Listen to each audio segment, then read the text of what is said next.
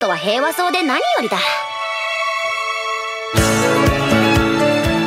人間だった俺は通り魔に刺されて死んだと思ったらこっちの世界でスライムに転生して暴風竜ベルトラと友達になったり魔物たちの国を作ったりみんなを守るために戦ってしずさんの未練子供たちも無事に助け出すことができた。大変なことがいろいろあったけど。なあランガこんな平和がずっと続くといいな。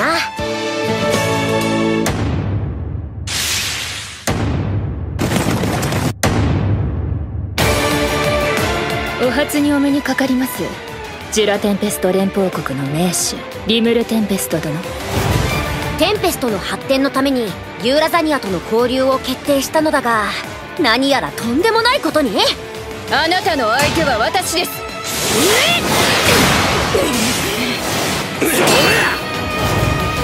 そしてガゼル王に招待されてドワルゴンへ。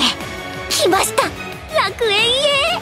俺はあの国王は好かんあの王は欲深すぎる。リムル様お逃げください。何があった？敵です。それも想像を絶する強さのはじめましてかな。もうすぐさようならだけど。君の町がね邪魔なのよ。だから潰すことにしたの。なんだって？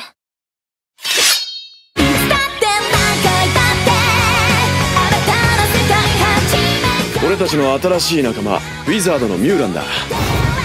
テンペストの重要性は一気に跳ね上がる。テンペストを目障りに思う国もあるでしょうな。例えばファルムス王国など。我らは人類の法を守る者として魔物の国など断じて認めぬ。面白くなってきました。大戦争が起こりますよ。